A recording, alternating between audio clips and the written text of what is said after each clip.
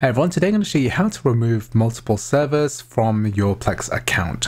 So if you have a defunct server or you have a server that you don't want to show anymore, today what we're going to do is show you how to remove this server. So for example here I've got my Windows PC and we're running a Plex server here, but I want to remove this. I only want to be using my NAS for example. I don't want this appeared on this pinned menu anymore. So I'm going to show you how to do that. So we need to log in to our Plex server. So I've got the web browser and I've gone into my Plex server here. You can also go to Plex you can also go to plex.tv and then you can log into your Plex account. And then once you've logged into your account, you can just press the Open Plex button here, and that's going to open up your Plex installation. Select your user, and then once we're here, we're going to go and click on the settings icon here.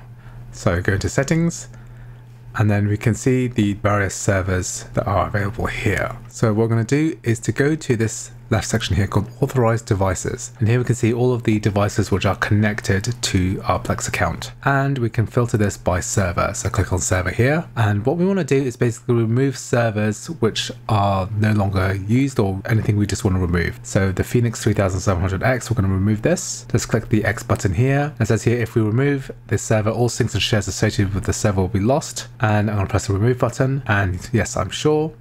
And now that's been removed I'm also going to remove this one that was running on my Mac and now that's been removed. So now I'm going to press the home button, click on more and we only have this QNAP 1 we don't have the Phoenix 3700X anymore. So anyway, that is basically how you remove a server from Plex. I hope you found this video useful. If you did, please like, please subscribe, and I'll see you in the next video.